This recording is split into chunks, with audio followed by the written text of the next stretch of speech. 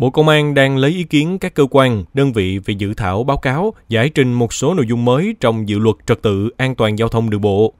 Dự luật được Quốc hội cho ý kiến tại kỳ họp thứ 6 vừa qua. Đáng chú ý, về hành vi cấm điều khiển phương tiện giao thông mà trong máu hoặc hơi thở có nồng độ cồn, Bộ Công an cho hay sử dụng rượu bia khi lái xe là vấn đề xã hội không chỉ ở Việt Nam mà cả trên thế giới. Do đó, hiện các quốc gia trên thế giới quy định xử lý rất nghiêm khắc với người lái xe có nồng độ cồn. Cụ thể, chia làm hai nhóm, gồm nhóm nghiêm cấm tuyệt đối vi phạm nồng độ cồn và nhóm các quốc gia quy định về ngưỡng nồng độ cồn trong máu, hơi thở được phép đối với người lái xe theo đối tượng, mức chuẩn, người lái xe thương mại và người mới lái xe. Tuy nhiên, trong điều kiện văn hóa và giao thông ở Việt Nam hiện nay thực sự rất cần nồng độ cồn bằng không khi lái xe.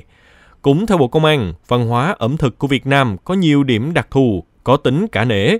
Nếu quy định nồng độ cồn bằng không thì không uống, nhưng nếu có một hạn mức nào đó thì lái xe có thể gặp trường hợp bị ép uống. Ngoài ra, đồ uống có cồn gây nghiện, đã bắt đầu uống là không dễ dừng, mà khi đã say thì sẽ khó nhớ luật quy định gì.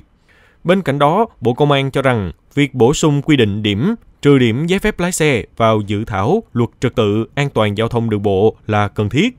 Lý giải điều này, Bộ Công an cho hay, hiện nay ý thức chấp hành pháp luật của người tham gia giao thông còn kém. Điều đó được chứng minh qua việc xử lý vi phạm giao thông hàng năm ở mức cao trên 3 triệu trường hợp vi phạm.